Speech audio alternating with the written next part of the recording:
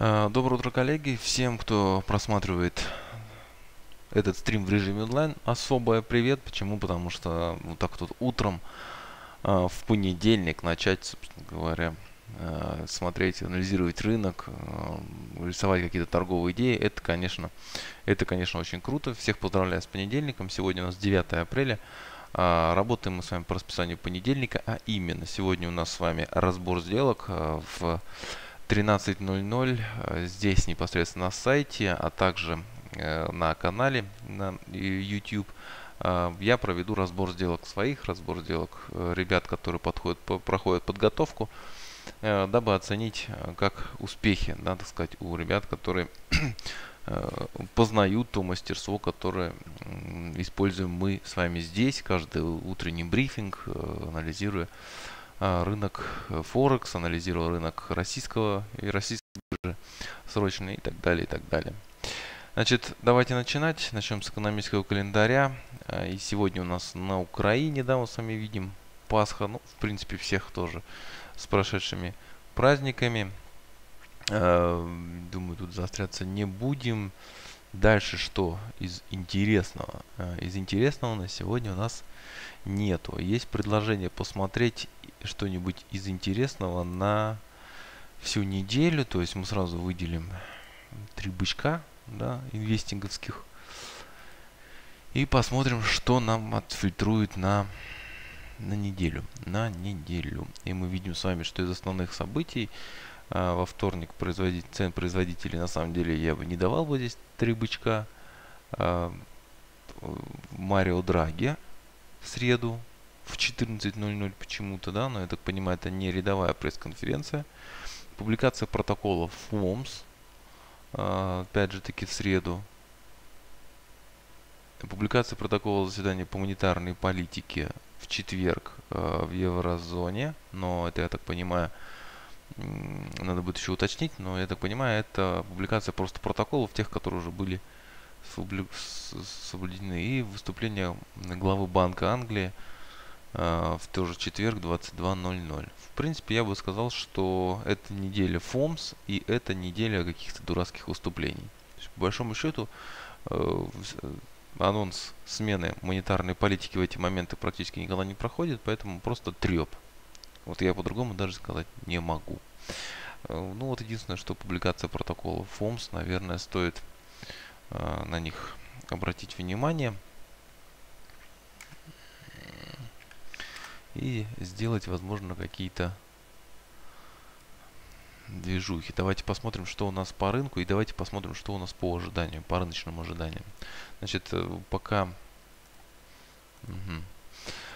Значит, вот это вот э, ожидание Fed, э, Fed Watch Tools 7, да, то есть это ожидание процентных ставок, а, то есть как люди, торгующие на семьи, на фьючерс на процентную ставку, с какие ожидания они закладывают а, в публикации, собственно говоря. Здесь мы сами видим, что мы сами видим, что у нас а, данные за 2 мая, то есть это ближайшее заседание, которое будет, на котором возможна смена процентной ставки. Как видите, сегодняшнего дня здесь нету, и просто ну, это не, скажем так, непростое, да, это сокращенный режим FOMS, я так понимаю, если что, да, значит, ну и мы сами, это, это все не важно, важно ожидание, да, то есть мы видим, что 98,4% участников рынка а, ждут э, процентную ставку 150-175 базисных пунктов, это нам с вами важно будет отметить, то есть э, лишь только изменения ожиданий будут привносить волатильность на рынок.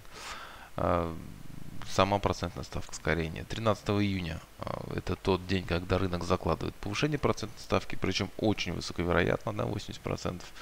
Вот, и еще должно быть, по-моему, в сентябре следующее закладка ожиданий. Ну, тут 50 а, на 50, да, то есть с этой стороны 50%, точнее даже быть 50, 0, 50 и 4 процента. В ноябре, конечно, ждут уже Э, больше участников рынка, ну, незначительно, но тем не менее больше. И декабрь, что у нас декабрь? 225-250 есть? Нету, нету, да, то есть э, рынок закладывает еще два повышения процентной ставки, это 13 июня, а также либо 26 сентября, либо 8 ноября. Да, то есть э, ждем еще две. То есть вот такие вот ожидания на текущий момент есть. Я думаю, что э, нужно их принимать во внимание. Но давайте вернемся к рынку, пробежимся, что у нас фактически есть. Э, поехали, европейская валюта. Идея наша э, на нонфарме дождаться плохих данных, увидеть импульс вверх и продать от края, то есть предполагая, что смена рыночного, рыночной структуры не произойдет, в принципе, смена рыночной структуры не произошла, ничего не изменилось, но, к сожалению, мы не смогли здесь зацепиться в шорт. То есть наша идея ну, не реализовалась. А, давайте посмотрим, может быть, что здесь еще новое. По позициям, в покупках, в продажах, в общем-то, все как всегда. А, стопов возможных, да, каких-то я не вижу. Интересные стопы есть вот здесь, тут, на мой взгляд, да, они находятся за хаем вот этим вот. И вот эти тоже, в принципе, неплохо выглядят, но это все далеко. А, по фьючам а, биржи CME, а, кластерный анализ. Значит, мы смотрим с вами то, что вчера наторговались ближе к Америке. Ну вот они, да, объемы просто тупо выросли, но их направление, на мой взгляд, не изменилось. И мы с вами все-таки находимся в боковичке, и из этого боковичка движение вниз для нас будет движение основным. Как вы не крутите, то есть это согласно тем тактикам, которые ну, методом анализа, методом прогнозирования, которые мы применяем. Э, я думаю, что несмотря на нонфарм, несмотря на какие-то поползновения, нужно оставаться э, с той же самой идеей, то есть с идеей того, что цена э, может вырасти, все-таки да, до сопротивления и там попробовать все это дело продать. Поэтому мы здесь с вами ничего нового не предпринимаем. Блин, мы с вами вот так вот продлеваем наш прямоугольничек и ждем. И ждем, ждем, ждем. Цели точно такие же, то есть рассматривать шорт. Сейчас, кстати, рассматривать шорт уже можно чуть-чуть где-нибудь повыше, чтобы соотношение loss profit а, было более-менее приемлемым. Не то, что более-менее приемлемым, а ну, получше, чтобы оно было, да. Вот. Точно так же мы с вами не ждем цену выше 1.2260, то есть сюда можно поставить стопик, в том числе позиционный. Ну, где-то здесь шорт и цели 22.45 это первая цель и 22.10 это цель номер два. В принципе, на мой взгляд, все может предположиться. Фунт. Э, здесь мы зашли. Э, здесь есть вход. Э, сидим. Пока в минусе сидим. Удручающий минус на самом деле. Почему? Потому что фунт закрылся в хай дня. Очень часто после этого никакой коррекции не бывает, а движуха продолжается вверх без всякой остановки. То есть и от этого э, некомфортно. Ну, по рыночному сантименту. Есть ряд людей, которые шортили здесь. Поэтому можно сказать, что ну, фарм против них. Да, но с другой стороны и здесь у нас есть а, тоже застрявшие люди, которые купили, сейчас находятся в минусе. Но это небольшие значения на самом деле. Весь открытый интерес находится здесь, конечно. Э, что в принципе логично. И стопы. Давайте посмотрим, есть ли здесь стопы. Э, хорошо бы их увидеть, да. Но вот они есть как бы над этим хаем, такое вот скопление. Wall position примерно точно такое же скопление. И наш стоп стоит, блин, там же, где все остальные. Бу, и стрёмно от этого на самом деле. Ну ладно. То есть по-хорошему-то надо свалить. Оттуда Значит, здесь у нас э, по кластерам также ниже кластеров шорт сохраняется. То есть, в принципе, структура не сломалась. То есть, то, на что мы сами э, рассчитывали по нонфарму, да, первая часть реализовалась. То есть, мы действительно доехали до... Э, до чего? Доехали мы до ручки. Ну, то есть, до сопротивления, а вот обратно, блин, не идем не идем. И это, и это стрёмно. Ну, давайте посмотрим. Что делать? Стоп, во-первых, не убирать, разгружать позиции не имеет смысла. А, ну вот есть кластера, ниже которых мы как бы, я бы сказал, не должны упасть. Но если мы туда упадем, то можно, как говорится, булки расслабить и ждать действительно дальше шорт. Короче говоря, сидим. Сидим, волнуемся, кому сильно страшно. Можно, в принципе, разгружаться в минус частично. Может быть, я вот так вот и буду, может, я так и сделаю, именно частично. Но, тем не менее, шорт есть.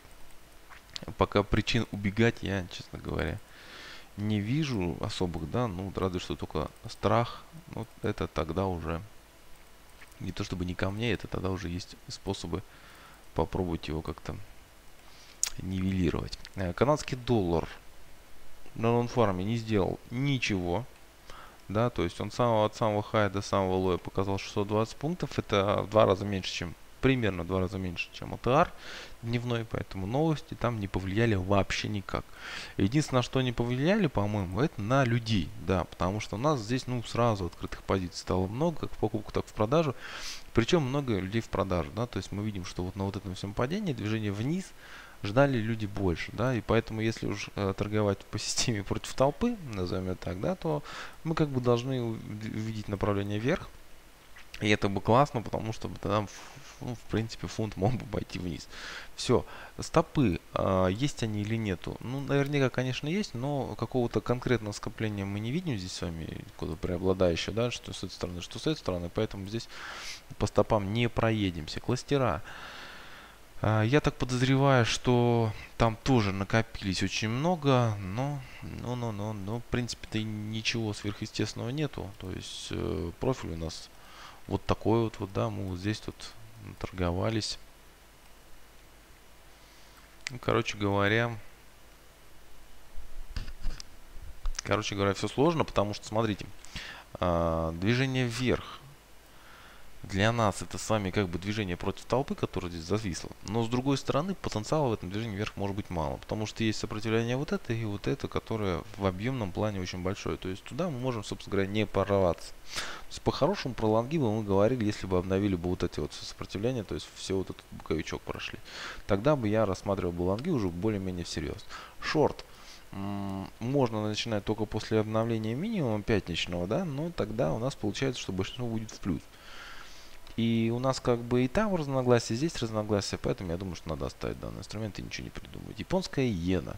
Идея о том, что можем провалиться на нонфарме и потом выскочить, хороша. А, она пока не реализовалась, и мы тоже видим только первую часть реализации, то есть мы двигаемся в сторону поддержки. К сожалению, здесь, в отличие от евро, я думаю, можно убрать лимиточку, потому что э, сделка изначально, еще в пятницу это отмечал, не такая уж выгодная с точки зрения соотношения loss profit. То есть у нас до take profit, в принципе, близко. Да, вот, э, ну, один к одному, стоп-лосс, take profit. можно здесь на самом деле преимущественного математического никакого нет у нас здесь. А что народ? Э, народ у нас сидит, в лонгах купил, и к тому же движение вниз, опять же таки, может состояться это против них. Э, стопы есть над хаем, но этот хай мне не совсем понятен. Я еще понимаю, если бы они были здесь, над самым-самым прям поэтому вот это вот мы опускаем, они, на мой взгляд, значения особого не имеют. Кластера фьючна фьюч на доллар японской иену, он перевернут, э, и мы видим с вами что. Ну, давайте рассмотрим вот это вот движение. Э, видим, видим, видим достаточно наглую остановку здесь. Не похоже, что здесь кто-то прям выкупает, судя по дельте, да, то есть какой-то активность такой связанной с, ну, прям с наглым выкупанием нету. Нету. Вот это все еще большое, то есть до сюда доехать можем, вот он point в контроль. Ну, удалю я идею эту, и удалю не потому, что я не думаю, что иена не будет расти, да, а потому что соотношение loss profit стрёмное, и я думаю, что оно того не стоит. Да, то есть даже если мы получим плюс, то мы получим плюс столько, сколько бы всего рисковали. В э, такой подобной торговле на дистанции, то есть имеется в виду на длительный промежуток времени, оно не приносит профита. То есть с рынка нужно стараться забирать в 2, в 3, в 4 раза больше, чем рискуем. Сейчас у нас один к одному, поэтому особого тренда там нету. Поэтому я не сторонник. Э, даже если она реализуется, я просто сделаю вывод и все. Значит, австралийцы. Ну, народ в покупках, как оно было, так оно остается. Особо ничего не произошло, тем более в пятницу, да. Тоже показали один из самых маленьких АТР за день. 380 тиков, 380 пунктов, очень мало. Вкусные стопы здесь остаются, вкусные стопы здесь остаются.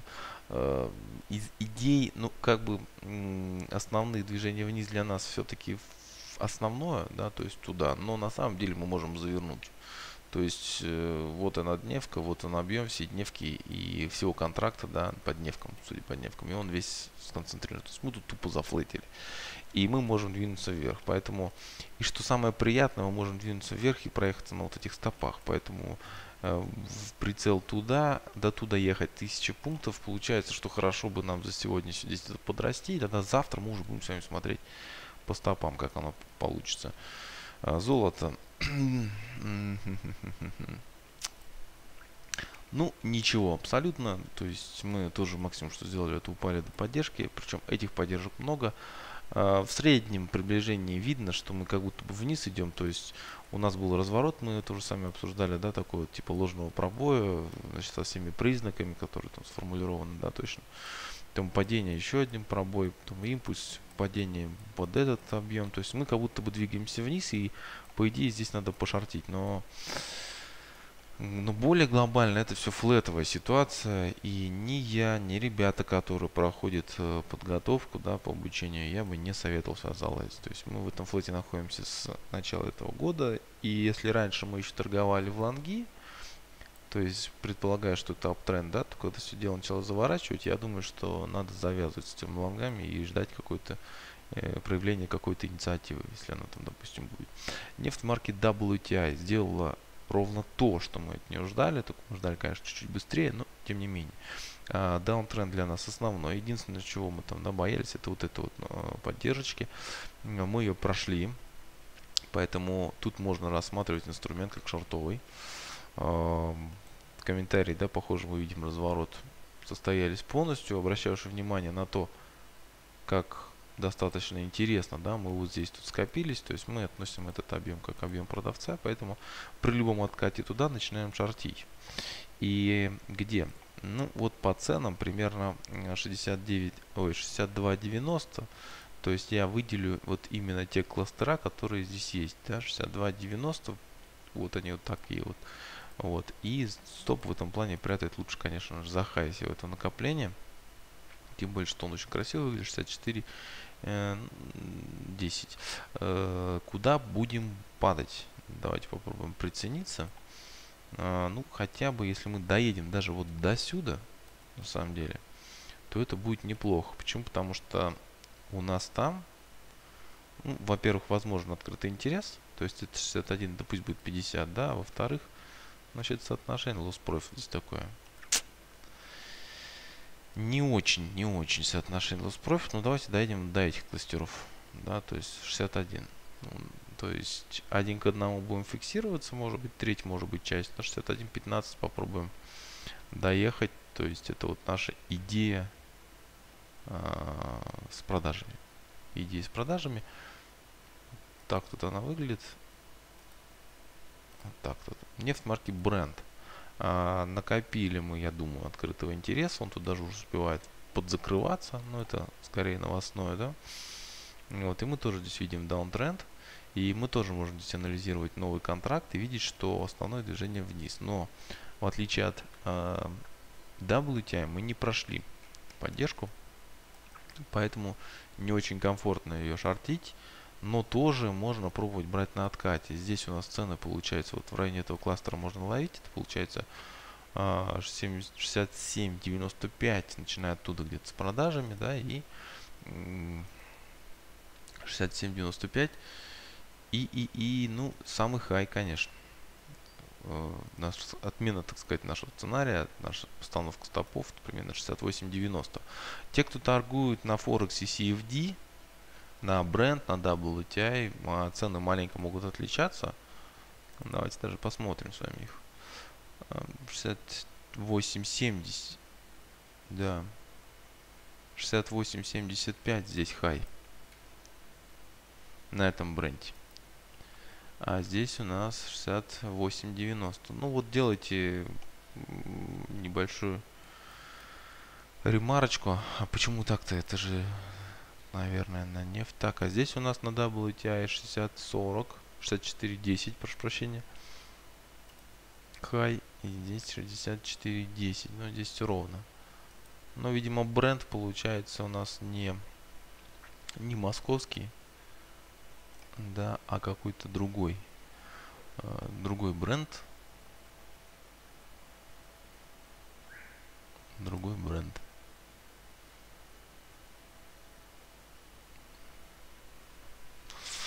Ну, понятно, что CFD, CFD на какой-то фьючерс, наверное. Хотя, фиг его знает. А может и на рынок спот. Откуда не взяли котировки? Ну ладно, не суть важно. Дальше поехали. Доллар-рубль. А, у нас здесь с вами подросло все это дело. Сразу хочу сказать, что подросло ожидаемо, но, к сожалению, мы ничего не предпринимали. А, хочется отметить э, позицию лонговую, э, не лонговую, а опционную позицию покупка с трендом 58 500. И я думаю, что мы ее не будем хеджировать от роста, да, то есть тут, в принципе, до экспирации, это у нас экспирация этих опционов на московской бирже будет 19 да, 19 апреля, и мы попробуем дождаться какого-то роста, потому что все выглядит достаточно интересно, то есть и э, ну круто, да, то есть вот, я думаю, что хеджировать не будем, попробуем выйти в профит по, по профилю, ну, по, по, по позиции. Э, РТС э, заваливается, но здесь скорее Э, боковые такие движения 128 тысяч и 122 400 и мы можем отбиться в любую как сказать сторону. И здесь лучше э, принять наверное во внимание идеи от э, какого? От 3 апреля. То есть мы говорили о том что имеет смысл продавать только лишь при при проявлении инициативы в шорт Начиная с этой недели, кстати говоря, в, эм, в пятницу, да, в пятницу мы запустим, я запускаю, попробую, если успею, запуск, запустить новую передачу по опционам. Кстати, всех приглашаю. То есть, э, так сказать, ознакомительное, чтобы люди понимали, что они себя представляют, ну и э, выставим какой-то счет, как публичный, как сохранению позиций. То есть я думаю, это будет интересно. Вот это в эту пятницу я все э, расскажу. Почему в пятницу? Потому что э, я планирую сделать следующее. В пятницу, это будет 13 число, посмотреть, каковы будут идеи, рассказать торговый, торговый план действий, вернее, на следующую неделю.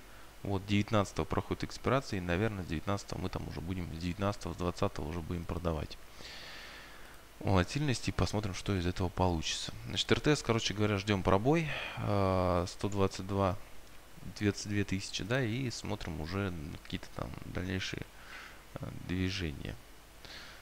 Раньше времени с вас туда не нужно. Сберыч очень плохо себя ведет, и мы прошли а, место с открытым интересом, в принципе, это понятно, и мы это уже обсуждали, но проблема в том, что мы пошли обратно.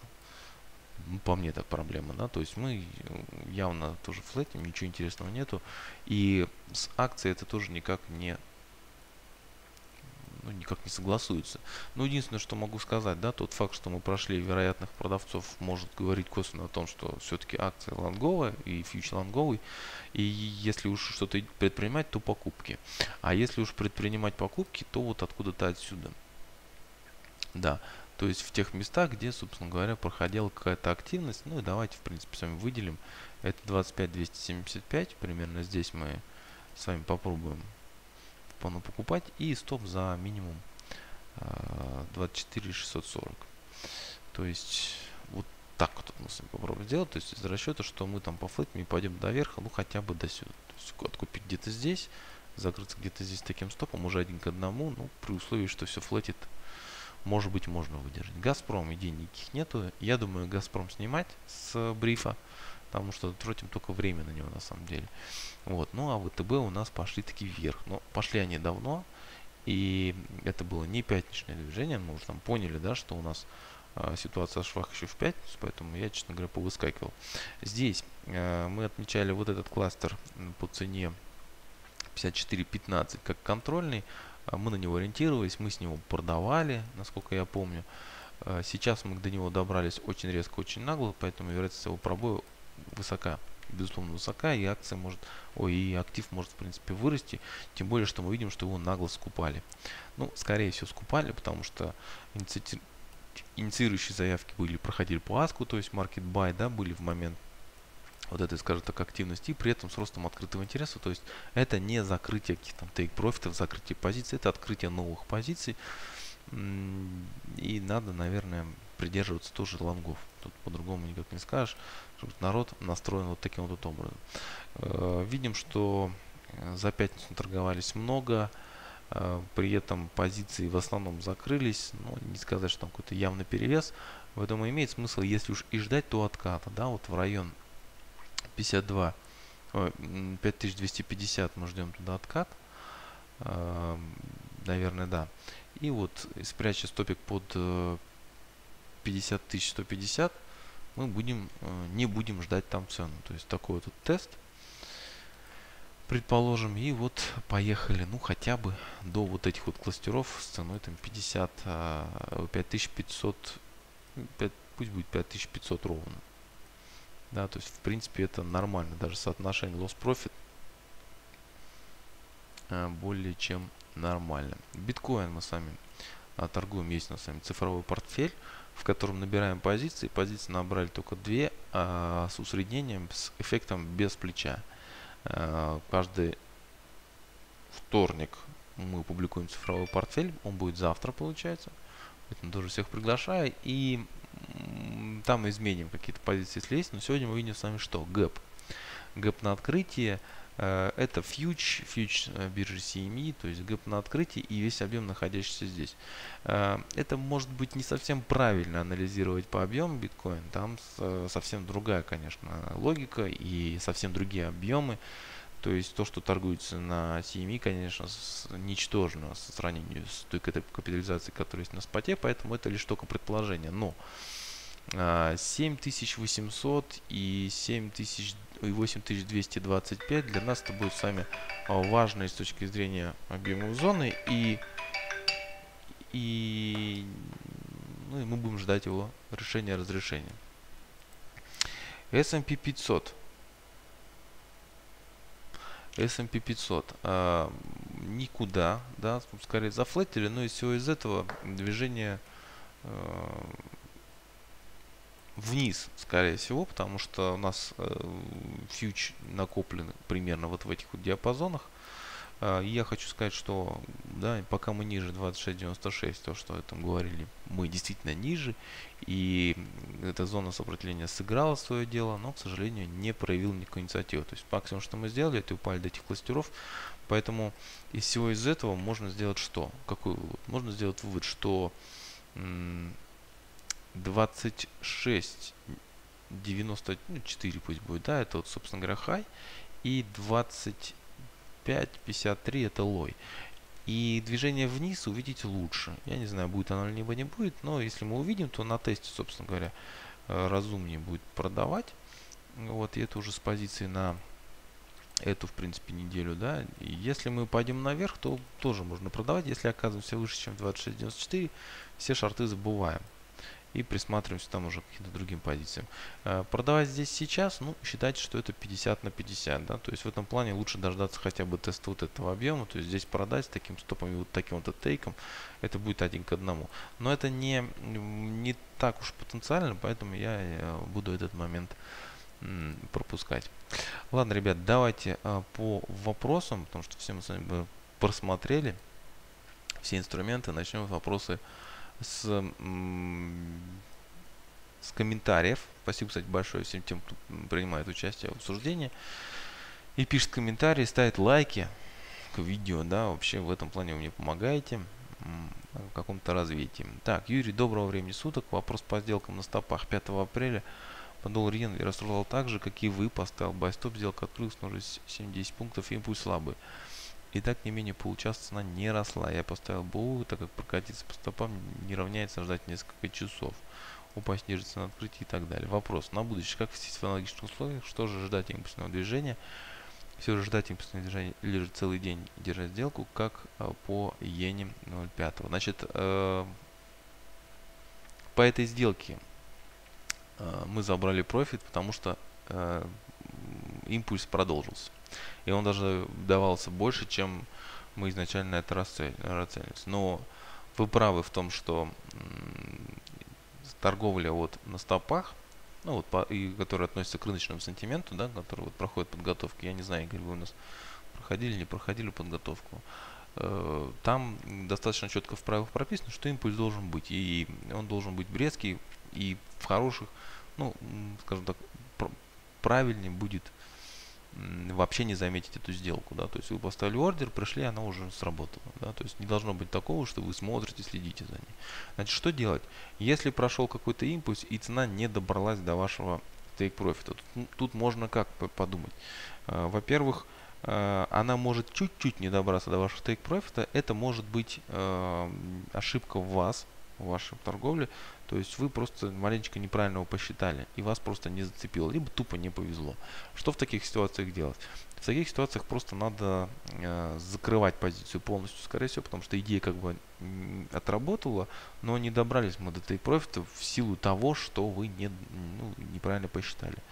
Э, косвенно можно еще раз посмотреть на наличие стопов в том месте, в котором вы, собственно говоря, рассчитывали. Да? Если их там нету, то надо закрывать позицию полностью. Скорее всего, импульса больше не будет. Или он будет, но он будет там э, так не скоро, что вы просто-напросто устанете ждать. Если, допустим, цена стрельнула и половину э, расстояния предполагаемого вами не долетело, то тут тоже можно посмотреть наличие стопов, есть они там или нету. Если они остались, то и сделку можно оставлять, причем в полном объеме. Э, если их там нету, то надо тоже валить в полном объеме. Вот. И в таких случаях я обычно людям советую частично закрываться, остальное ставить в безубыток.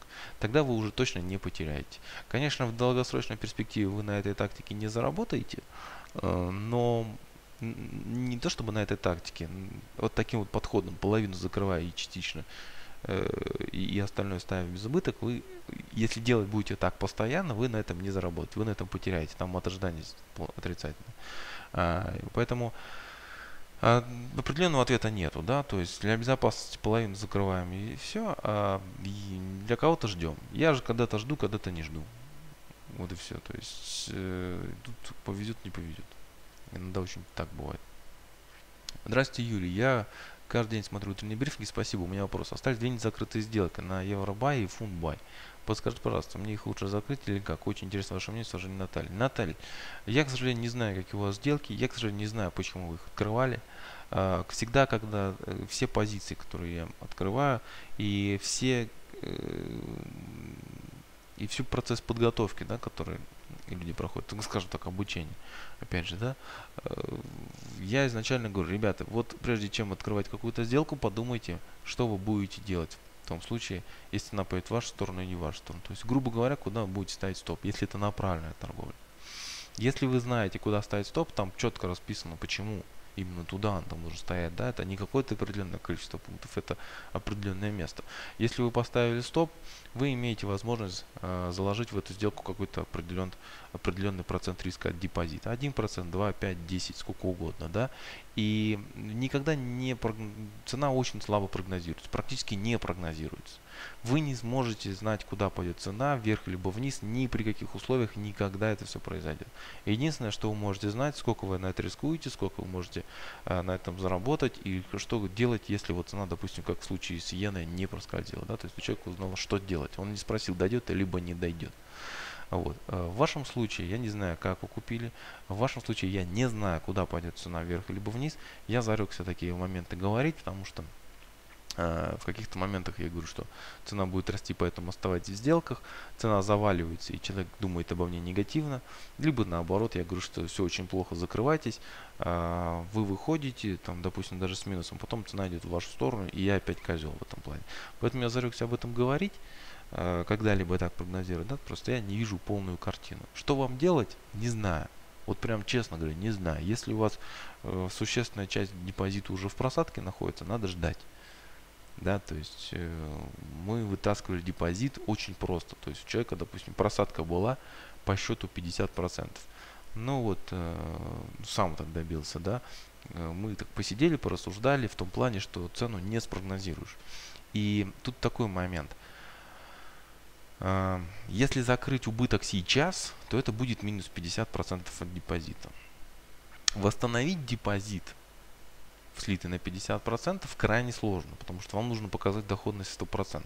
Причем чем раньше, тем лучше.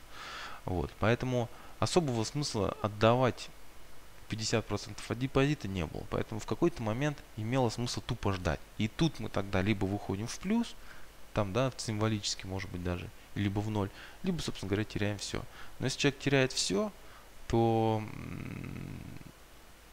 не то чтобы это неплохо, это, конечно, катастрофа. А, вот, но, знаете, как отдать 50%, а потом не вернуть эти же 50%, это все то же самое. Ну, а если вы, допустим, хотите убежать из рынка и сказать, что вы обошлись, ну, просто не туда пошли.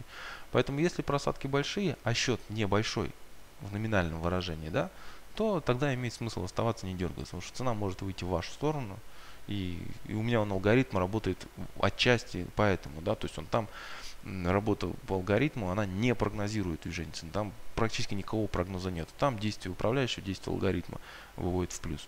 Да, и вот можно, э, ну, в июне будет уже год, как э, там публичность э, всему выдается. Ну, Пока катастрофы не было никогда. Юра всегда лайк, еще, э, еще в начале просмотра за труд и интересные идеи, которые помогают лучшему систему. Большое спасибо за лайк. Юрий, подскажите, пожалуйста, откуда котировки берете для ТАСа? Э, котировки я беру от CQG, провайдера. Э, демка на две недели они предоставляют с возможностью перерегистрации на любую другую какую-то почту. В Атасе очень легко реализован на этот момент, то есть получить демку от того же CQG можно за одну минуту без каких-то там дополнительных регистраций, как говорится, и смс. Мы ударение на А, но это к другому видеоролику. Ну и все. Ну и давайте, ребята, по вопросам, которые в чате. Чат на сайте trendерfloor.net. Да-да-да, тут поздравляю всех с праздником. И все. Ну и на Украине. Здравствуйте. В, а, в Украине, а не на Украине. Все понял, в Украине. Да, это очень большая, очень часто оговорка, в том числе моя. Фунт куда идет, сказал. Фунт в бай идет, сказали. А, но с откатами ускорения на следующей неделе сильнее. Понятно. Ключевые точки 100, 140 пунктов и цены от цены открытия недели. С них откаты. Она пум-пум-пум. Ну, в общем, это все а, уже ближе к какому-то другому прогнозированию не является как таковым вопросом. Все, коллеги, большое спасибо за внимание. Всех жду э, на разборе сделок сегодня. Ставьте лайки под это видео. Э, не под это, я сейчас перезалью, да, будет запись. Подписывайтесь на канал, потому что мы только развиваемся. Э, мы сейчас стали, э, на мой взгляд, э, круче и интереснее. Вот стримы и так далее, и так далее. То есть все по подписке. Подписывайтесь на канал, ставьте лайки. Все, пока. Хорошей торговой недели.